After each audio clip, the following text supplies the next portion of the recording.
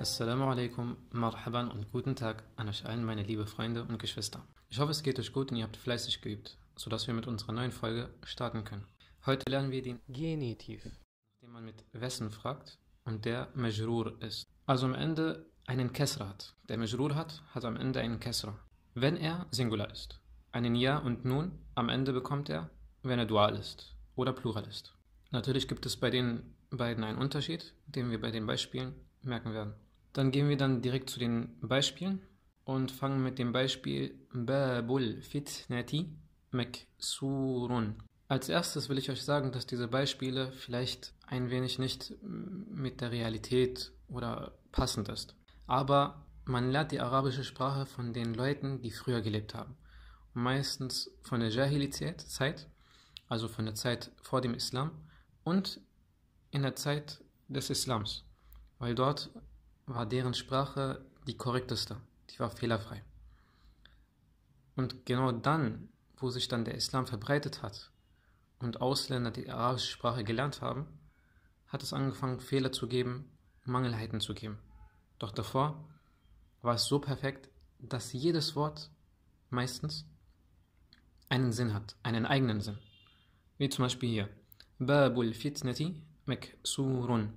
Bab heißt die Tür. Fitna könnten wir sowas wie Unheil übersetzen und Meksur zerbrochen. Die Tür der schweren Prüfung oder des Unheils ist zerbrochen. Bab ist Mubtada, was wir im, ganzen, im ganz ersten Unterricht gelernt haben. Und der ist Marfu', also Mubtada, Marfu'. Also am Ende hat er ein Dhamma, Babu. El-Fitnati ist Mudaf ilayh, der Majrur ist. El-Fitnati hat ein Kesser hinten und ist Mudaf ilayh der Dativ sozusagen. Maksurun ist Khabar, Marfu'. Die meisten Herrscher in der Geschichte hatten weltliche Absichten, damit sie auf dem Thron sitzen. Anstatt gerecht zu regieren, haben sie nach ihren Vorteilen gesucht. Einer dagegen war nicht so, und das war Omar, radiallahu an, gesegnet soll er sein, der zweite Khalif. Und man sagte, dass er diese Tür sei. So eine Gerechtigkeit hatte er. Und achtet auf den Begriff Meksur, also gebrochen. Was denkt ihr, was der Unterschied zwischen gebrochen und geöffnet ist? Die Antwort ist, wenn man öffnen sagen würde, und das ist hier die Schönheit dieser Sprache, wenn man öffnen sagen würde, könnte man es ganz normal wieder schließen. Doch zerbrochen bedeutet, dass sie offen bleibt und nie wieder geschlossen wird. Es ist einfach unglaublich, wie man früher nach jedem passenden Wort gesucht hat. Kommen wir zum nächsten Beispiel. Birrul walidaini yudkhilukal jannah. Das Pflegen der Eltern lässt sich das Paradies eintreten. Bir ist Mubtada Marfu', also Birru. Al-Walidaini, und hier haben wir gesehen, dass wir Ja und Nun hinzugefügt haben. Der Ja hat ein Sukun und der Nun hat ein Kesra. Dei, ni. Al-Walidaini ist Dual, die beiden Eltern, und so ist der Majrur mit Ja. Egal, ob man gläubig ist oder nicht. Seine Eltern gut zu pflegen ist was Natürliches. Und was in Europa vor allem fast nicht mehr zu finden ist. Man sollte nachdenken, dass wie man andere behandelt, genauso später behandelt wird.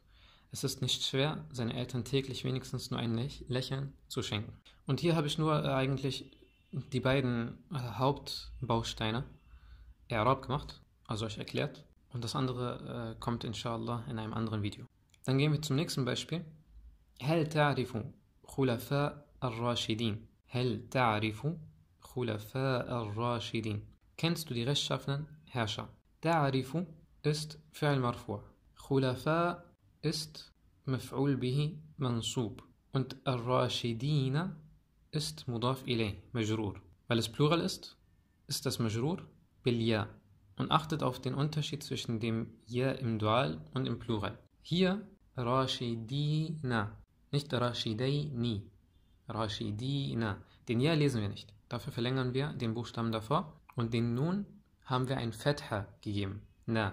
Beim Dual haben wir ein Kesra gegeben. Ni. Und so kommen wir zum vorletzten Satz, inshallah. وَبْيَضَّتْ عَيْنَهُ Dieses Beispiel habe ich vom Koran geholt, weil ich es passend fand. und seine beiden Augen wurden weiß. Und diese Geschichte ist dann eben in der Zeit von Yusuf a.s. passiert, mit Yaqub a.s., seinem Vater. Dass Yaqub a.s., weil er traurig war um seinen Sohn Yusuf a.s., so sehr geweint hat, dass er blind geworden ist. Und seine beiden Augen wurden weiß.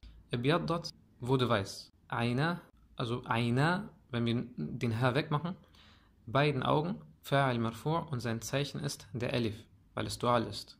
Aina, der Elif am Ende. Und eigentlich ist es Ainan.